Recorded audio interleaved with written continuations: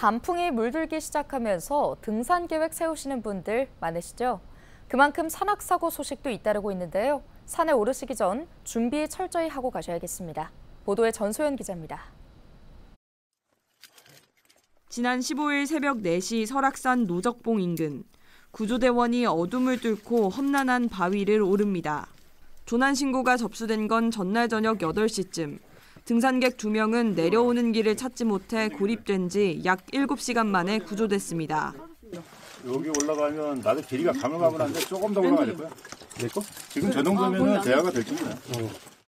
지난 20일 원주 치악산 비로봉 정상에서는 계단 아래로 넘어져 의식을 잃은 60대 등산객이 구조됐습니다.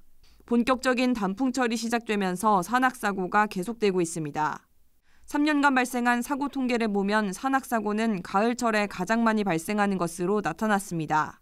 구조 출동 3만 3천여 건 가운데 25%가 9월과 10월에 집중됐습니다.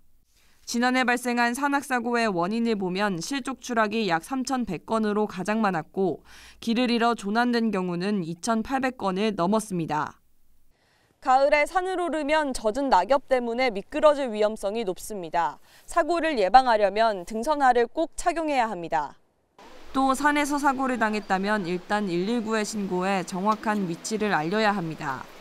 국립공원이나 또는 일반 산에 보시면은 국가 지정 번호가 적혀져 있는 부분이 있어요. 그래서 그 표지판을 보시고 신고해 주시면 좋을 것 같습니다. 자신의 체력을 과신하지 말고 적합한 코스를 정하는 것도 중요합니다. 또 일교차가 큰 가을철 고립될 경우 저체온증이 우려되는 만큼 여분의 옷을 챙겨 산에 올라야 한다고 전문가들은 조언합니다. 헬로티비 뉴스 전소연입니다.